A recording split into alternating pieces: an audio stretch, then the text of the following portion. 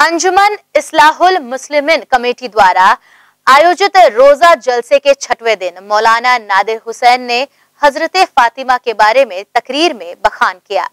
कहा कि हज़रत फातिमा का मर्तबा इतना बड़ा है कि अल्लाह ने आसमान से उनकी खिदमत के लिए नबियों की माओ और बीवियों को भेजा। मुहर्रम के अवसर पर अंजुमन इस्लालुल मुस्लिमिन कमेटी के द्वारा आयोजित दस रोजा तकरीर के छठवें दिन मौलाना नादिर हुसैन ने हज़रत फातिमा के मर्तबे पर प्रकाश डालते हुए तकरीर में पहुँचे लोगों को तकरीर में बताया, हज़रत फातिमा, नबी की सबसे लाडली बेटी हैं। नबी आपसे इतनी मोहब्बत करते थे।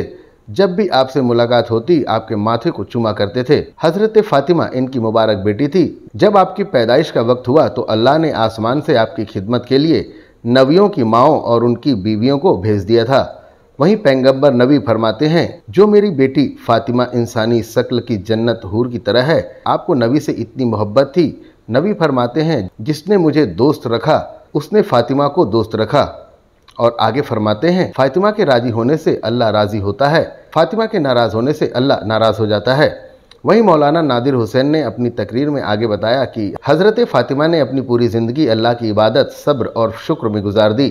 आपके बेटे इमाम हसन फरमाते हैं, मेरी अम्मी रात में जब भी इबादत करती, अल्लाह से अपने लिए कुछ न मांगती, हमेशा अपने नबी की उम्मत की बख्शीश की दुआ करती। आपकी ये शान है कि नबी फरमाते हैं, दुनिया भर के लोगों का खानदान बेटों से चलता है। मेरा खानदान रहती दुनिया तक मेरी बेटी फातिमा से चलेगा।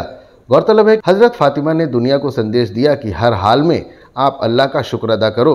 आपने सभी गरीबों की मदद की, बेसहारा को सहारा दिया। आपने दुनिया की सभी औरतों को पर्दे में रहने की शिक्षा दी।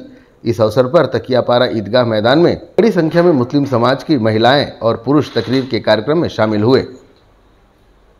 ग्रैंड एशियन न्यूज़ के लिए दुर्ग से नसीम फारूकी की रिपोर्ट।